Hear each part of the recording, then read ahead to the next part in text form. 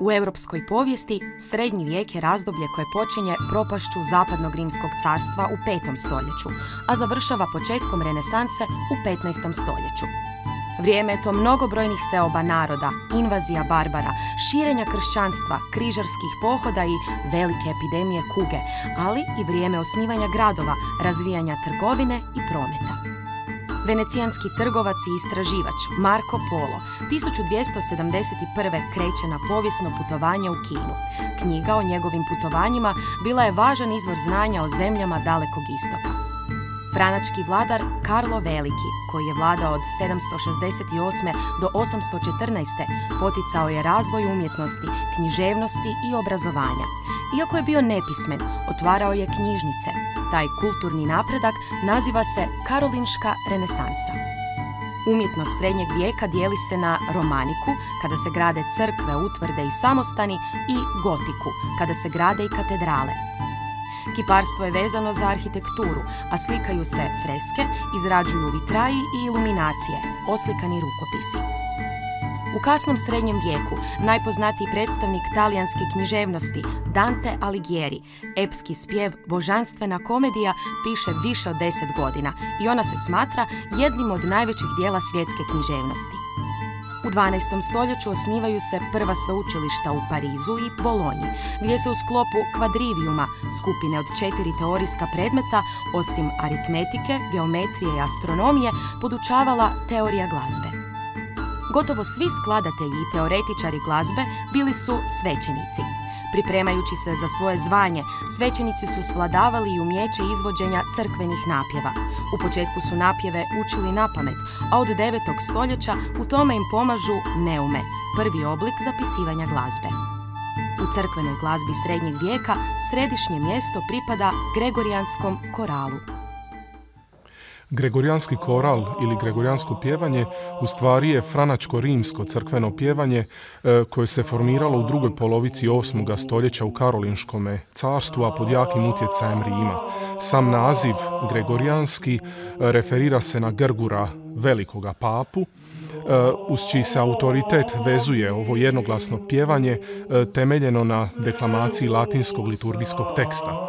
Ono se izvodilo a kapela ili uz pratnju orgulja. Također, e, zgodno je za spomenuti da je upravo Gregorijanski koral jedini repertoar e, zapadne europske glazbe koji ima kontinuitet od srednjega vijeka, dakle kako pisani, tako i izvođački, a i dan danas e, slovi za službenu glazbu Rimokatoličke crkve. Gloria tua, in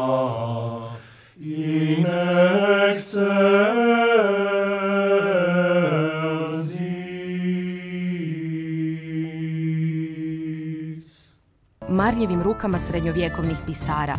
U slabo osvjetljenim, nerijetko hladnim samostanskim skriptorijima redovnici su, koristeći se tek malim pisarskim nožićem, naoštrenim ptičim perom i tintom, danima ispisivali i ukrašavali tekstove na listove pergamene izrađene od istanjene životinske kože. Rad nekoliko pisara na jednom složenijem kodeksu mogao je potrajati i više od godinu dana. Nije stoga čudna opaska na samome kraju jednoga španjolskog rukopisa. Kao pomorcu zadnja luka, zadnji je redak, mio pisaru.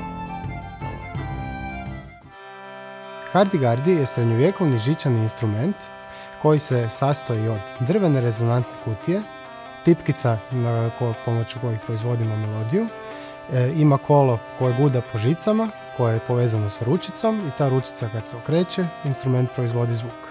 Sastoji se od melodijskih i bordonskih žica koje ugađamo uz pomoć čivije. Pomoću melodijskih žica proizvodimo melodije, a bordonske žice nam služi kako bi stvorile jednu ugodnu pozadinu za te melodije. Hardy se svira uz pomoć ručice, koja kad se okreće, pokreće jedno kolo i to kolo guda po žicama i na taj način dobivamo zvuk. Stari oblik instrumenta zvao se organistrum. Organistrum se svira uz pomoć dvaju svirača, jedan je okretao ručice, a drugi je povlačio tipke. U srednjem vijeku Hardy se koristio u pratnji plesova i jedan od takvih plesova je troto iz 14. stoljeća.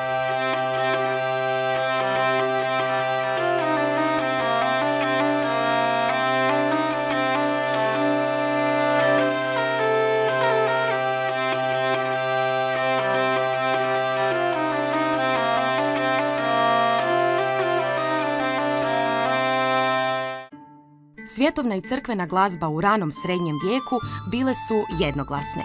U 9. stoljeću pojavljuju se prvi zapisi višeglasja, u početku u obliku jednostavnog organuma, u kojem se dva glasa kreću u paralelnim pomacima, a zatim u razvijenom srednjem vijeku u sve složenijim oblicima srednjovjekovnog moteta.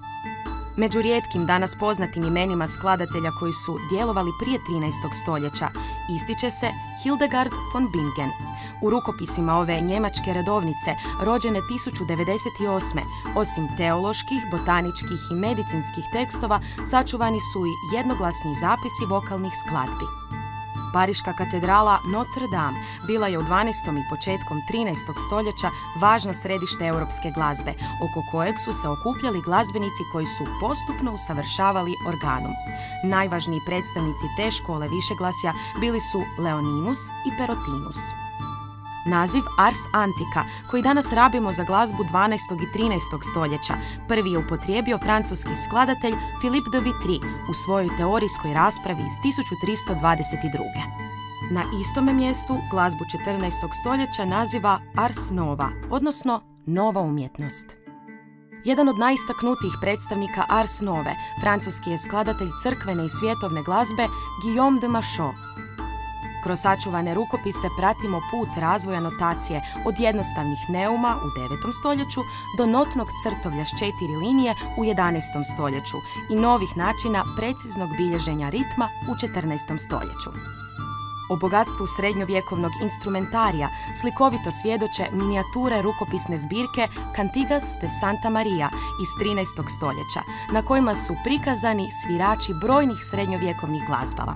Neka od tih glazbala bila su neizostavna pratnja srednjovjekovnim plesovima.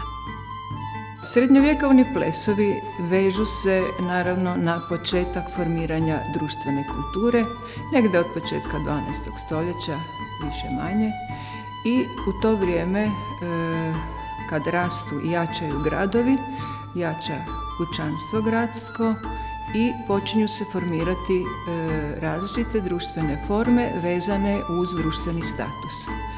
Jedni od prvih su bili cehovski i muški plesovi, zatim poznate prve koračajne šetajuće karole, kružni plesovi. Najpoznatiji i najstariji ples su bile lančane vijugave farandole, na slobodnim otvorenim prostorima, a vrlo popularne i e, plešu se do dan danas prema zapisima bile su jedne tri velike forme branol tipa plesa u različitim formacijama i plesali su ih svi uzrasti i svekoliko gradsko pučanstvo.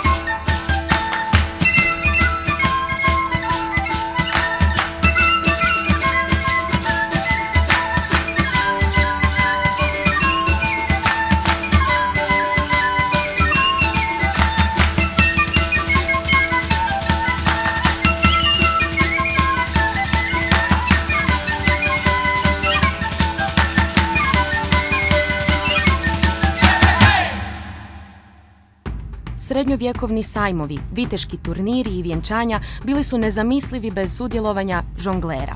Ti svestrani zabavljači bili su podjednako vješti u glumi, akrobacijama, pripovjedanju, pjevanju i sviranju srednjovjekovnih glazbala. Nerijetko su u potrazi za poslom putovali od grada do grada, prenosili svoje priče, ali i glazbu. Na francuskim su pak dvorovima od kraja 11. stoljeća djelovali dvorski pjesnici skladatelji, trubaduri. Svojim su pjesmama trubaduri veličali plemenitost i hrabrost vitezova, no ipak najvažnije mjesto u njima pripalo je idealiziranoj, nedostižnoj dami i profinjenoj udvornoj ljubavi. Kad govorimo o glazbi srednjeg vijeka, trebamo imati na umu da je to jedan dugi period od punih tisuću godina. Znači, ne možemo govoriti o jednom jedinstvenom stilskom obilježju, nego o glazbi koja se zapravo postepeno razvijala. Glazba se dijelila na duhovnu i na svjetovnu glazbu. Znači, duhovna je bila vezana uglavnom uz crkvene obrede, a svjetovna je pratila sve događaje svakodnevnog života. Znači, ljudi su pjevali o ljubavi, o vinu, o ratovanju, o dobrom provodu i tako dalje. E, svi su se bavili glazbom, svi društveni slojevi, i plemići, i seljaci, i običan puk. Međutim, te dvije vrste glazbe su se ipak dodirivale i kao primjer toga mislim da je najbolja zbirka Libre Vermel de Montserrat iz 14. stoljeća, E, posebno pjesma Conctissimus Concanentes Ave Maria, što bi značilo zapjevajmo svi zajedno Ave Maria. Ave Maria.